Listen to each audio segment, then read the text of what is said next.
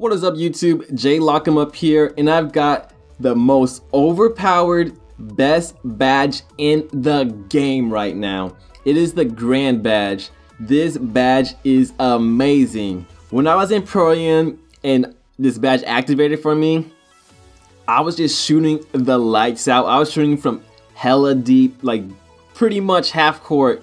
I got a couple greens from damn near half court. It's crazy. This badge reads, your spot up shooting ability has reached an elite level, which has earned you the Sharpshooter Pro Grand Badge. When you're hot in the game, Sharpshooter Pro will activate inside of your player indicator and for a small period of time, your spot up shooting abilities will reach an unconscious level. When it says unconscious, it means unconscious. It is insane, everyone. Now I'm gonna show you guys this Mike Wang blog post to give you guys the start on how to get this badge. It pretty much says that to get the badge, you uh, have to perform well within your archetype.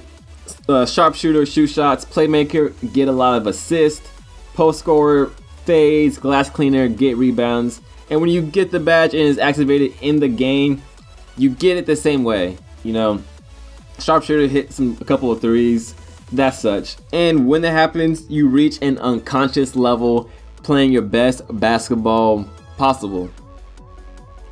Now to me, the badge seems like it'd be the best for a sharpshooter because you're just not missing when this happens. If you're uh, like a post scorer, that might be pretty nice too. Um, playmaker doesn't seem good at all. Like you might get the ability to like just start breaking ankles or something. Uh, maybe they'll passes are not going to get intercepted. Maybe uh, your dimer gets activated a lot more and your team is to hit all their shots or something like that. The playmaker doesn't seem good to me. Shot seems really good to me too because it's gonna hit a bunch of this fadeaway shots and that kind of stuff. To get this badge, it took me 35 games, and I'm gonna I'm gonna show you guys my stats that I had at the end of this to give you guys an idea of how much work it took, how long it took me to get this badge. And if you're a sharpshooter, I can almost guarantee you if you match these couple of stats, you will have the badge. Like some dude showed me the stats before um before I got it, and I matched them and I got the badge. So try to get every single uh, stat that I have, and you should be either around getting it or you will have it. So I had 1500 to 1600 points.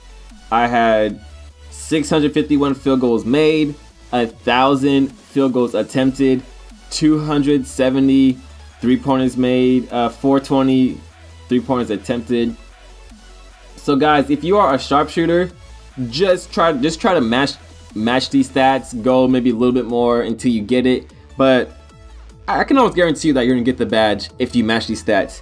Also, I would uh, just to be on the safe side, get as many Hall of Fame badges as you can. When I got this badge, I had five.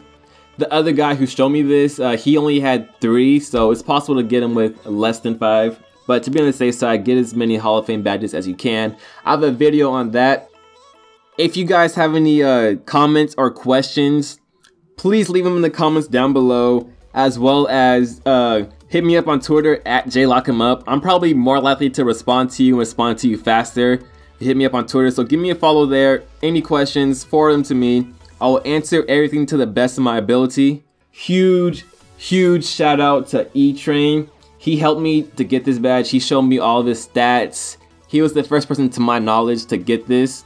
He helped me out so much with this. Just showing me the stats gave me an idea what to do, and I matched the stats. I got the badge. I'm gonna leave his Twitter link and his Pro AM team's uh, Twitter link in the description.